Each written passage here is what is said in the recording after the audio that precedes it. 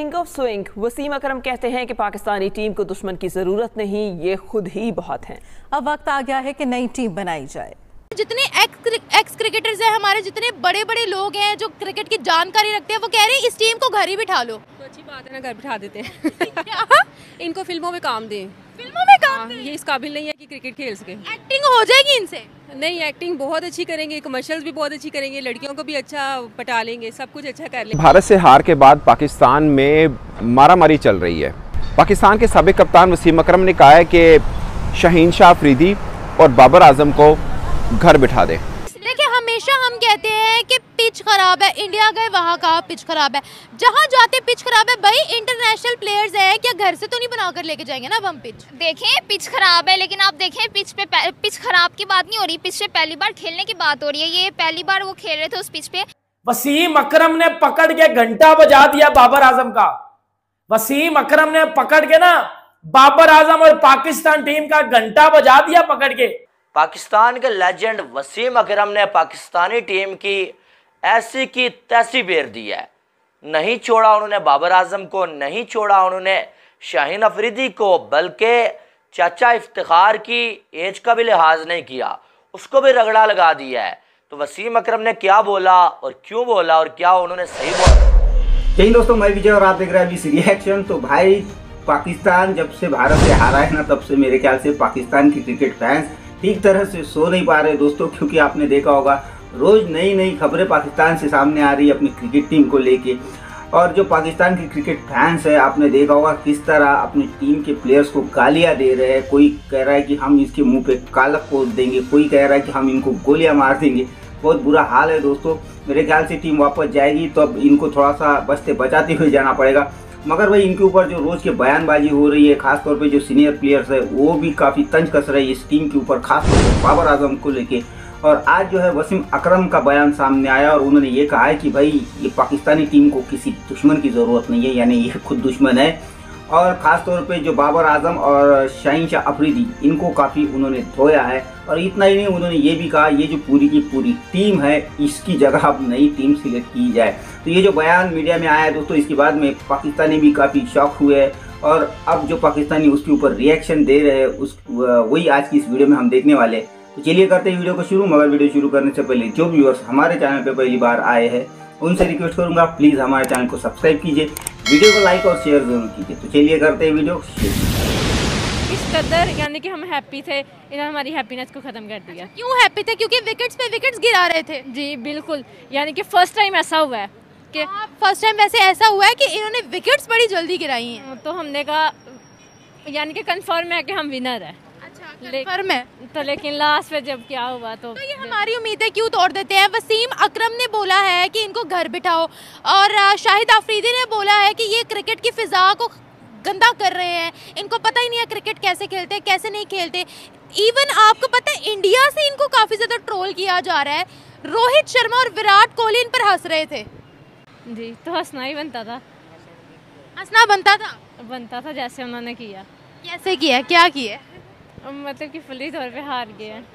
हाँ फुली तौर पर हार गए लेकिन इनको क्या हो जाता है? प्रेशर ज़्यादा आ जाता है या क्या मसला यानी कि हमारी इंसल्ट करवा दी है। पाकिस्तान पाकिस्तान की इंसल्ट करवा दी है। तो जिस तरह से ये हुआ है। तो भारत से हार के बाद पाकिस्तान में मारामारी चल रही है।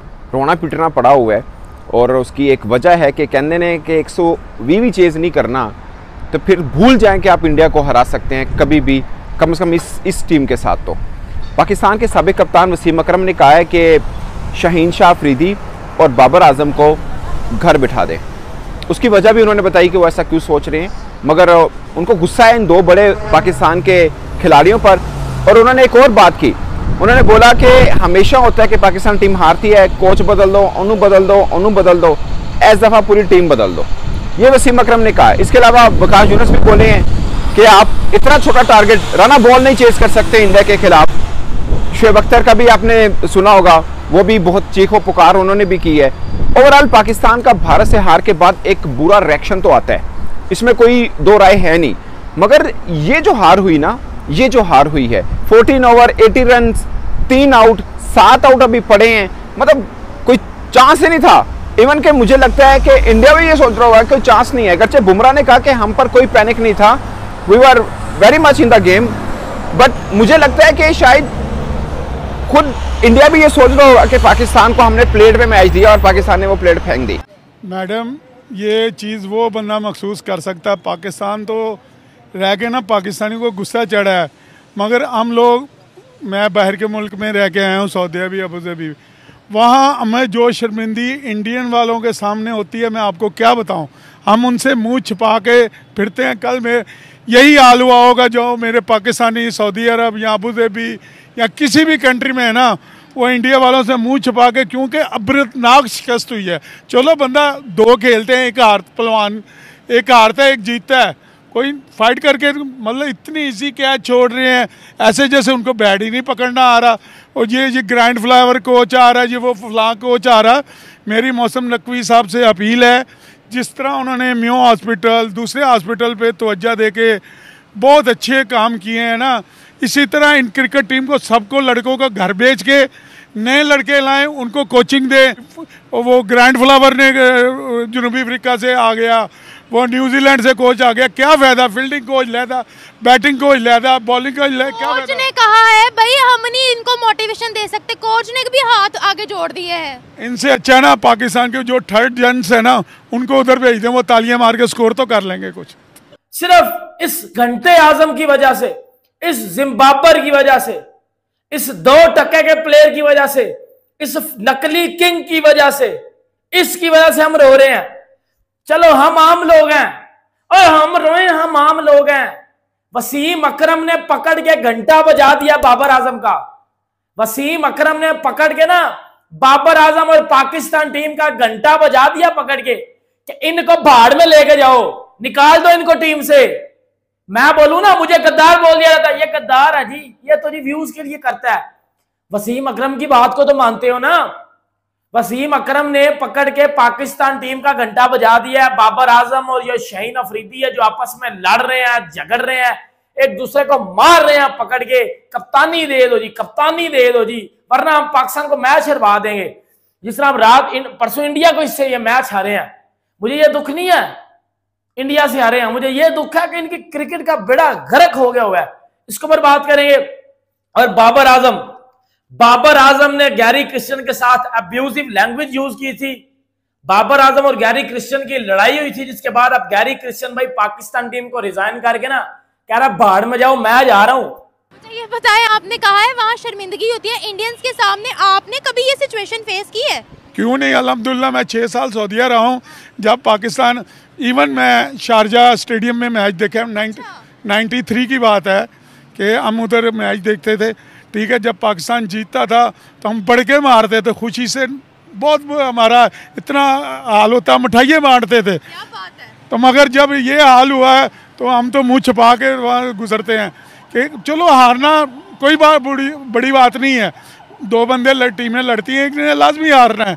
मगर अमेरिका से जो अभी अनट्रेन लड़के हैं उनसे ही हार टीम थी नई नकोर नई नवेली टीम हाँ जी वो ये अफ़गानिस्तान से ये आ रहे हैं अमेरिका से ये आ रहे हैं इंडिया से हार गए और किसी मुल्क से हार जाए कोई कोई इसमें प्रॉब्लम नहीं है।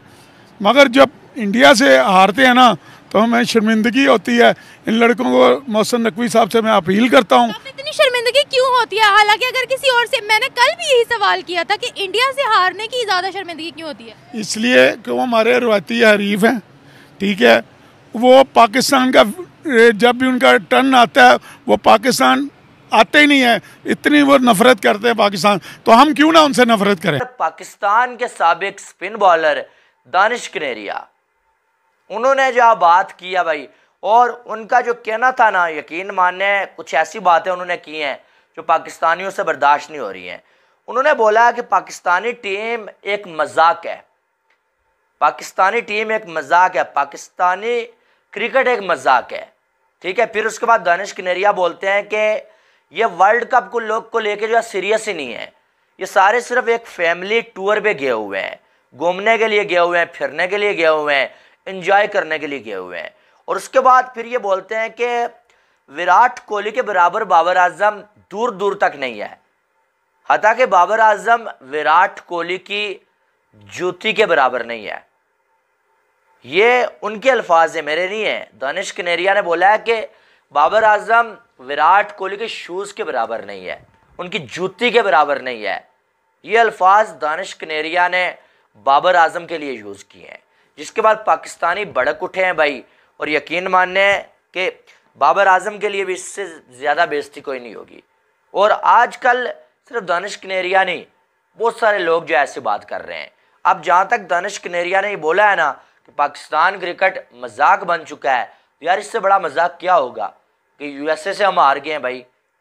इससे बड़ा मज़ाक क्या होगा कि कनाडा हमें धमकी दे रहा है कि सिर्फ़ यूएसए नहीं हम भी आपको पेलेंगे।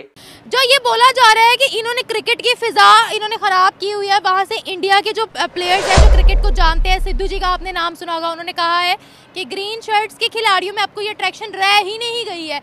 इसके बारे में क्या कहते हैं आप?